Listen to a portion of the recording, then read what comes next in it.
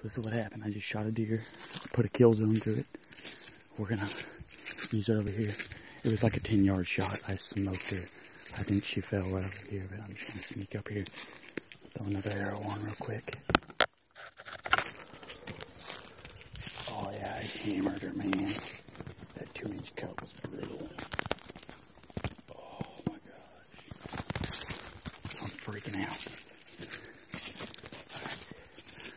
So, this is where I shot her at. Look at this. Just blood sprayed everywhere. I mean, literally.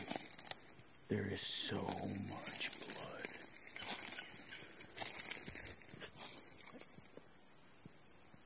I don't see my arrow.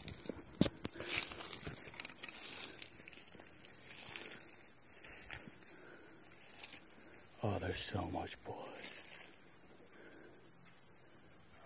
I'm gonna back out. I just shot her. I'm gonna give her a minute. I'm gonna go pick up my dad. It's a really good blood trail, so I can see blood. I can see blood all the way over there on leaves and such. Yes. Alright. Awesome. Put a Killzone in there. Look at that. It is everywhere. Good, good.